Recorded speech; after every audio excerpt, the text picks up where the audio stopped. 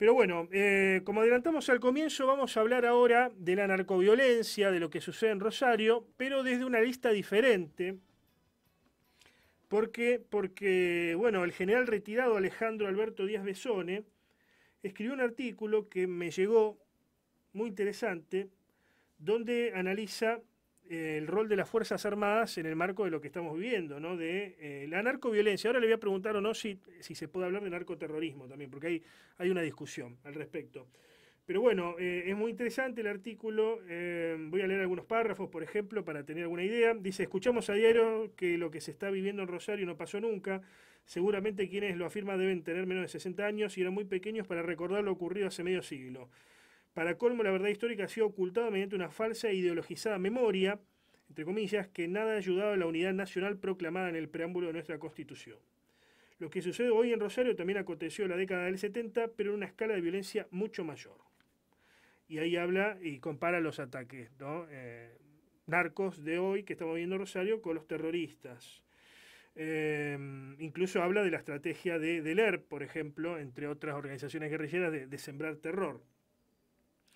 Así las cosas. Y bueno, y después habla de Rosario, habla de Rosario, y bueno, y mm, lo, que mm, piensa el artículo es qué pasaría si intervienen las Fuerzas Armadas, quién sería cargo de lo que hagan las Fuerzas Armadas, ¿no? Porque si se lucha contra el narcotráfico, seguramente habrá bajas, seguramente se empleará la violencia, ¿y qué va a pasar en el caso de que eso suceda?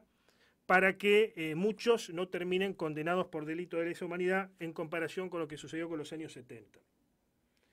Bueno, es interesante este artículo y tenemos al autor en línea. Vamos a hablar con el general retirado Alejandro Alberto Díaz Besone. ¿Cómo estás Alejandro? Buenas tardes. Buenas tardes, Antonio. ¿Cómo te va? Bien, gracias. Sí, sí, te, estamos escuchando perfectamente. Te tuteo para un mejor diálogo. Eh, bueno, primero, eh, ¿se puede catalogar a lo que hoy estamos viendo Rosario como narcoterrorismo?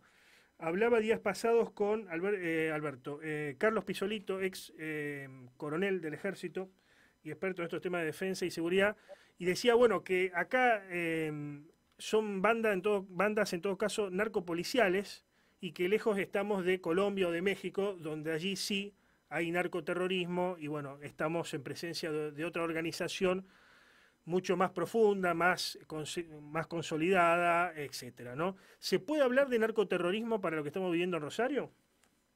Mira, es un problema semántico a la larga.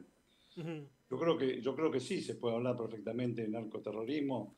A ver, que un lo que pasó con las personas asesinadas, que una persona esté en el trabajo y venga alguien y te, pegue dos tiros y, y salga corriendo solamente por, por el hecho de generar eh, un caos y eso es una especie de terrorismo.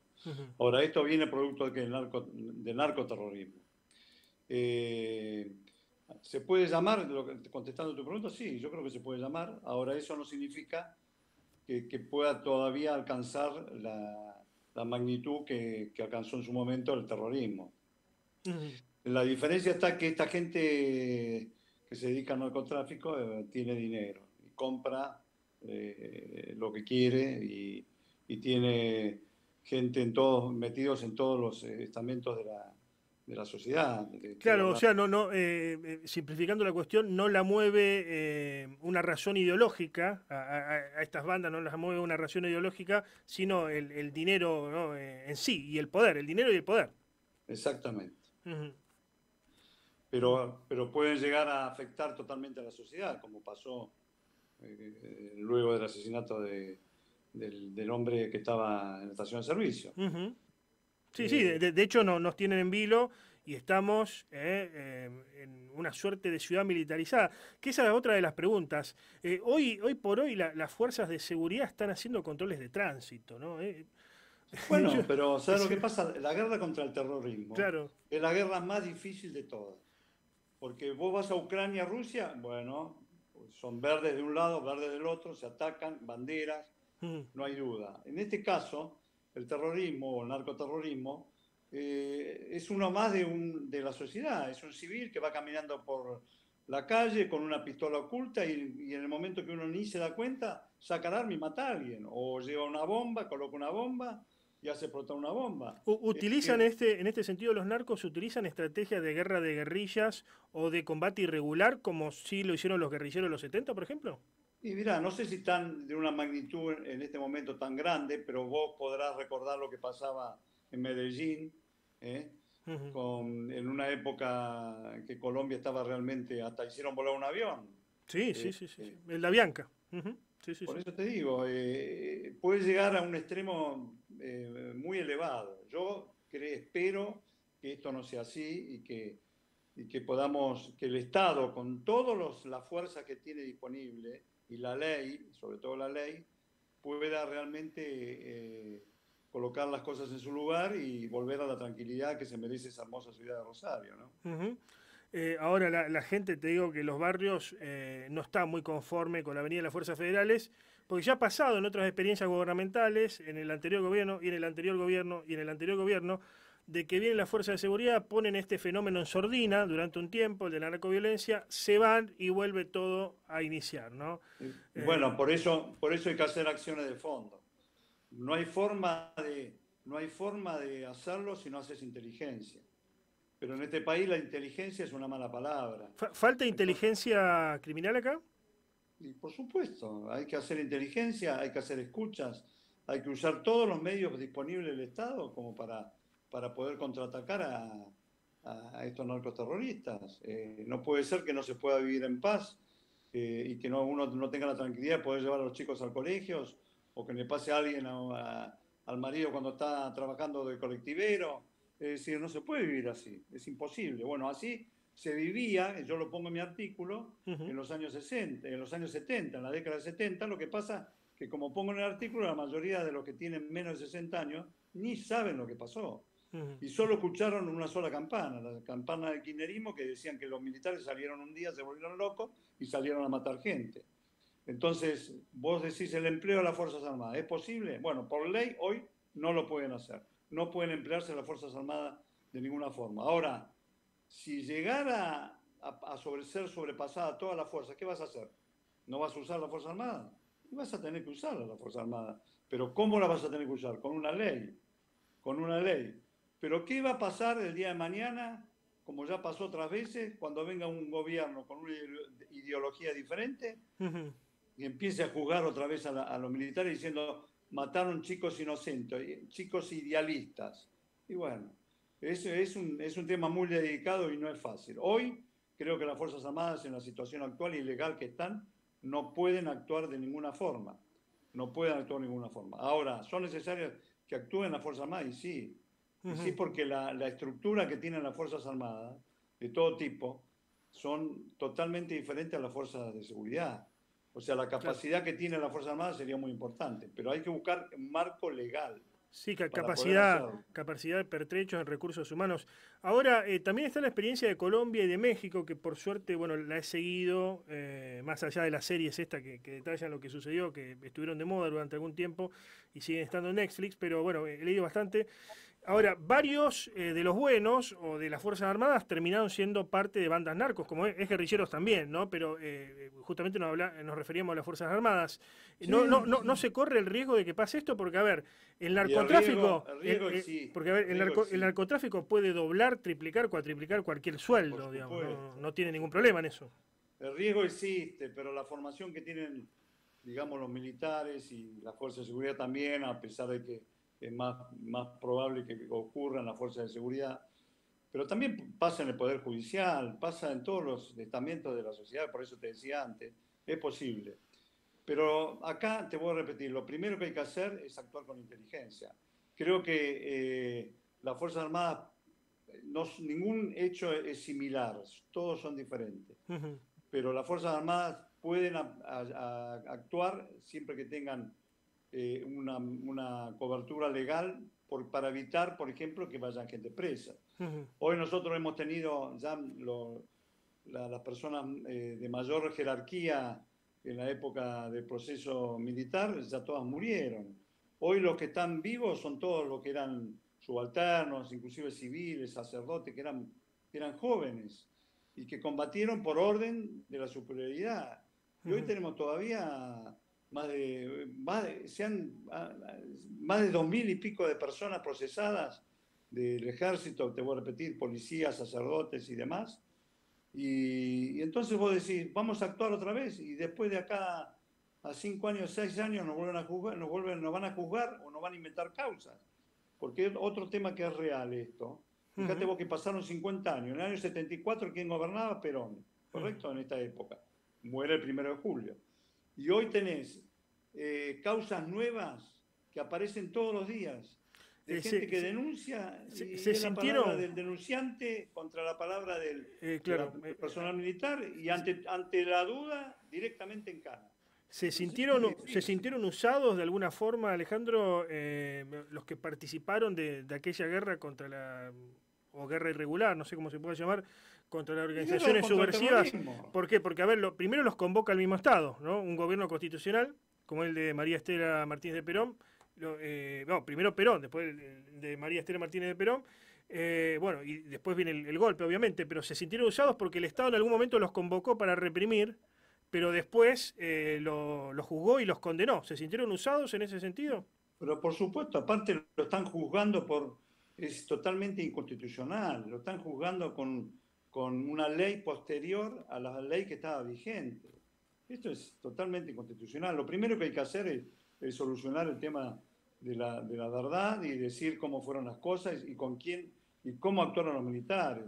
Después ver, hay juicios que, que, son increíbles. Acusan a un oficial que estaba, que fue supuestamente a algún lugar y violó a alguien y el oficial nunca estuvo destinado en ese lugar. Y sin embargo lo, lo meten igual, en, lo, lo, detienen, lo meten en, en, el penal.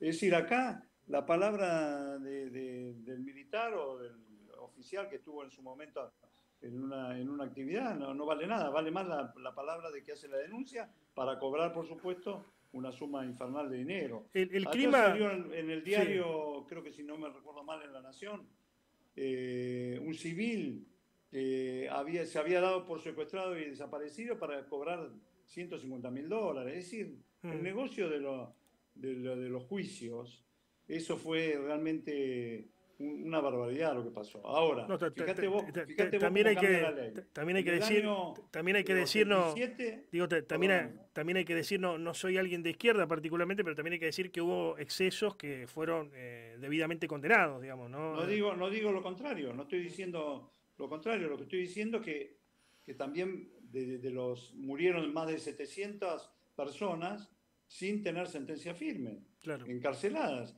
Algunos llevan hoy en día más de 12 años eh, en prisión sin tener todavía ni siquiera eh, un, un, un, juicio. Uh -huh. Entonces esas cosas son las que, que, no pueden ser. Pero te digo un tema más. Fíjate vos cómo es, nuestro, cómo es la justicia en nuestro país. En el año 87, recordarás vos, en la época de Alfonsín, se, la, la, Corte Suprema declaró constitucional la ley de obediencia, de obediencia debida. Y en el año 2015, o sea, casi 20 años después, la Corte Suprema cambió el fallo y lo cambió y dijo que era inconstitucional. Entonces, si no tenemos una ley que es, que es coherente, que, que se maneja con la Constitución, con, con, los eh, códigos procesales como corresponde, es muy difícil. Entonces, eh, eh, ese temor existe en la fuerza. ¿Pensás que puede cambiar, eh, para terminar con este tema y después volver a la actualidad, el tema del narco, ¿Pensás que puede cambiar eh, la situación de varios que están eh, presos sin sentencia firme de aquella época, de la época del proceso de reorganización nacional eh, o de la dictadura militar, producto de que está cambiando el clima de época a nivel cultural y digamos y esa y esa tendencia gramsciana, si uno quiere, o progresista que se había instalado con el kirchnerismo, pero ya venía desde el alfonsinismo. Eh, hoy está cayendo en desuso, digamos, eh, y la gente está viendo la cosa desde otro lugar eh, puede, ¿puede cambiar la situación de esas personas justamente que ahora está cambiando el clima de época o no? Eh, esperemos que sí, que lo que no, no, se busca que sea absuelto, se busca que, que sea la, que, se, que se juzgue con la verdad, con la constitución. Mm. Nadie pide que, que, que, una persona que, fue culpable sea absuelta. Lo que, se, lo que se pide es que sea justicia y que los derechos humanos no sean solamente para lo, los terroristas, sino también para los militares que actuaron en defensa de la, de la democracia en su momento. Uh -huh. Ahora, volviendo al tema de narcoterrorismo, yo no estoy diciendo que, que, como te dije al principio, yo creo que, y para el bien de Rosario, yo creo que el Estado tiene que usar todos los medios disponibles contra el narcoterrorismo. Y tiene que hacerlo lo antes posible. Para lo cual, desde el punto de vista de Fuerzas Armadas, hoy no pueden actuar las Fuerzas Armadas. Y en el caso que puedan actuar, hay que modificar la ley de seguridad interior, sobre todo el artículo 32, que dice que no pueden entrar, no pueden ser utilizadas pero bueno, mientras tanto, algún tipo de apoyo logístico que es muy importante para la Fuerza de Seguridad, las Fuerzas Armadas podrán, podrán emplear. Fíjate vos cómo, cómo tiene que ver todo con todo, porque la política sacó todo lo que había en Rosario militar. Había un cuerpo de ejército, lo sacó. Había un batallón de comunicaciones, lo sacó. Es decir, es como que dejaron todos, desmilitarizaron toda la, la ciudad de Rosario como para dejar todavía mayor libertad a los narcotráficos para que puedan, para que puedan trabajar en forma tranquila, eh, con, un, con, una presión menor. eso es increíble. Y bueno, eh, por eso te decía, otro de los factores que, que, es muy importante que puede ser utilizada la Fuerza Armada es para todo el tema de comunicación. Y por supuesto, traslado, apoyo con todos los medios, helicópteros, etcétera, etcétera. Y creo que la voluntad que tiene este gobierno inicialmente, pero también tiene la voluntad de, de modificar las leyes y el decreto 727 que, para poder realmente poder actuar de otra forma y sobre todo tener un paraguas legal para los oficiales, suboficiales y soldados que puedan tener que intervenir en, en, este, en, este, en esta cuestión. ¿no? Gracias por el contacto, Alejandro. No, gracias a ustedes por llamar. ¿eh? Gracias.